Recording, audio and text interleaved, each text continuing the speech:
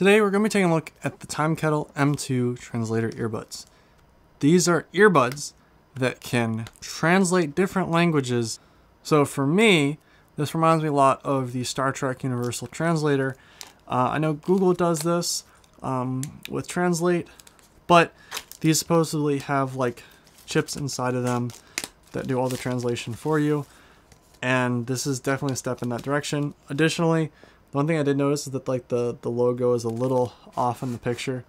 So I'm gonna be curious to see how they look. So yeah, so first off we've got a fish card, which I have no idea what that is. You got instructions, offline language, thick manual in a whole bunch of different languages. And these earbuds are thick. Like we're talking chonky. Oh, wow. And each earbud gets its own half.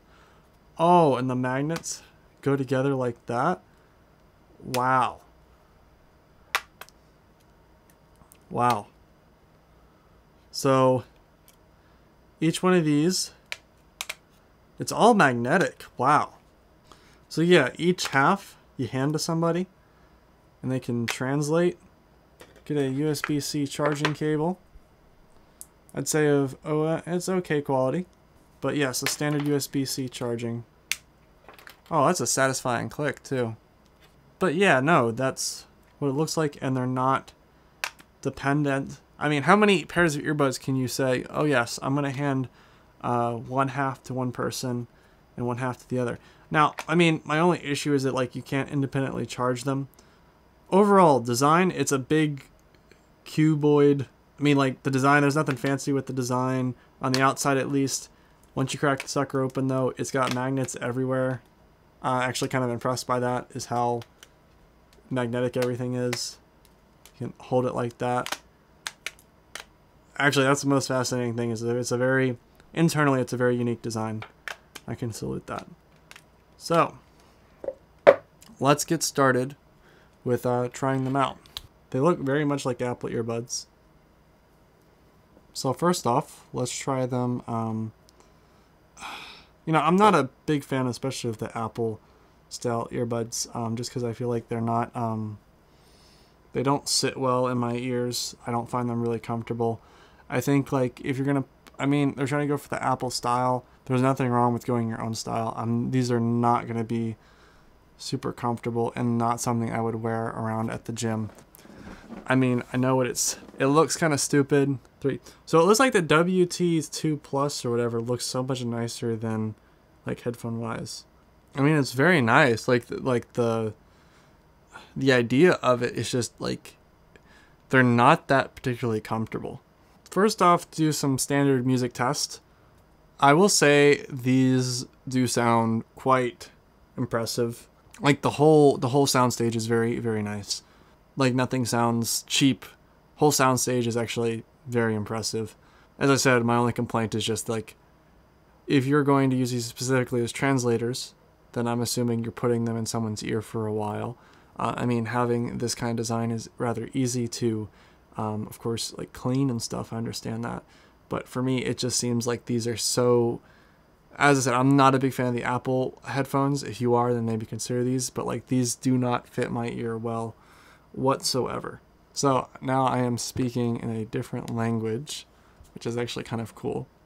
So that that I, I, I gotta argue this this is done somewhat decently, and it even does uh, handle, of course, slang.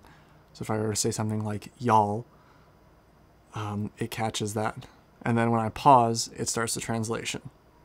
Okay. So listen mode lets you speak English and it shows up in some other language.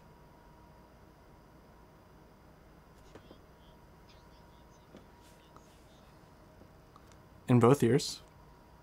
So the voice recognition is pretty good. Speaker mode, so that means you hand your earbuds to someone else and someone else speaks. Yeah, so that comes out my headphones. Or my So I can talk into my headphones and then it translates it into another language Creo que es bastante impresionante que solo pueda hablar. And that is pretty impressive to translate that on the fly. Y eso es bastante impresionante. Para traducir eso sobre la marcha. So this is also done currently in the offline mode. So this is fully autonomously catching it without any internet or data whatsoever. Esto también se hace actualmente en el modo fuera de línea, por lo que se captura de forma totalmente autónoma sin internet ni datos de ningún tipo. So I think that is pretty dang impressive um, that it can I speak and it translates it accordingly. Creo que es bastante dang impresionante que pueda. Yo hablo y ella lo traduce en consecuencia. Now, um, Soundstage is quite impressive. Um, this is these are actually really nice, at least in terms of sound. Um, I understand that the Apple style stuff may be more widely um, familiar with many different cultures, especially because Apple's just got such a large prevalence. Um, however, I mean, like, I, I really just find them extremely uncomfortable, especially if you were to do this for a long period of time. That being said, though, sound quality is uh, about as you're gonna good as you're gonna get. I think these are like a $300 pair of earbuds, so um, sound quality I feel like does live up to that expectation. Everything seems to it's it's a definitely a wide, uh, fully covered soundstage. Translation stuff is very interesting. Uh, for me, I think the design is a little bulky. I, I just find, I find that's going to be awfully thick to fit in your pocket. Maybe something thinner, something longer, something a little bit different. I just feel like this is just it's a lot to fit. It's like one pocket. Like you're using one pocket for this because it's not thin enough that you can put it on top of something else or and it's not long like you know long enough that you can put it beside something else so it's really just a one pocket thing um, which makes it kind of difficult to handle also i feel like the way that this is done especially with like how you have to have a phone for this um, i feel like this is with all the fancy hardware that you have here compared to like google translate which is free um, you know, you have all the fancy processors in here, which I think what they say that this has got some uh, Qualcomm sound quality, which is great. Uh, I just think that like versus just using Google Translate to translate it versus you know using these. I mean, this does offer some benefit by each person having an ear and being able to hear things independently. Um, it just, for me, the justification of Google Translate versus this um, especially with requiring you to have your phone, of course, to make any use of the product, is somewhat frustrating.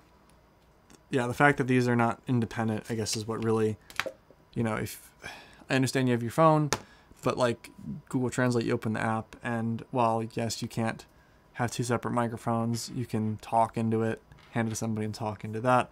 Whereas this, um, I feel like you could have both headphones in, talking to them, and then hand the phone to somebody. But still, when people are hearing something from the phone, that's getting very close to Google Translate, which is free. So, like, I wouldn't, like, for normal people, if you were going on a, you know, one, on a weekend trip to somewhere, uh, somewhere in a different language, uh, I would argue that like your phone could be adequate in that situation. I mean, if it's really, and obviously in a lot of places, especially, a lot of people do end up speaking English. Uh, that is, of course, a double standard. You know, everyone should have multiple languages in their in their vocabulary um, or in their res- repertoire. But I, matter of fact is, a lot of places, especially that are popular tourism, are going to have a lot of people speaking English. Or I don't know how many people watch. I don't have English, uh, non-English subtitles, so I would assume not many people listen to this in other languages. Um, but for example, if you spoke another language and you went to somewhere like uh, the U.S well, I mean, we're kind of stupid, so we, we don't really speak many other languages, but some of us do. And uh, that might be, I just feel like this is much more of a niche product. Uh, it's expensive. It's cool. It does a good job. I mean, it's a little uncomfortable to have in your ears, which, as I said, I don't understand why you spend all the money and development and have something that copies Apple's completely horrendous earbud design. It's extremely uncomfortable. I like them a lot. I think if you were going somewhere that you were expected to be like I don't know, if like a month trip or maybe two months you're going somewhere and you know you only spoke one you know English or whatever language you speak, and you go to somewhere and like you know not everyone knows how to speak English, then I, I understand this. This is definitely you'd be using a lot. It's not super convenient talking your phone, hand it to somebody. It's just convenient. Hand them the phone, let you talk, let them talk, and then of course you get and you have that exchange of conversation. So I want to salute this product though because it's a very unique product, and this is the first product of that kind that's come through my um, kind of email. So definitely have respect for that. Um, I just it's such a nice like idea on a product and execution, except for the fact that like it's uncomfortable, really uncomfortable. Thank you very much for watching. Hope you enjoyed today's video, and of course check out the channel for other cool tech related news, reviews, and uh, things like that. Have a great day.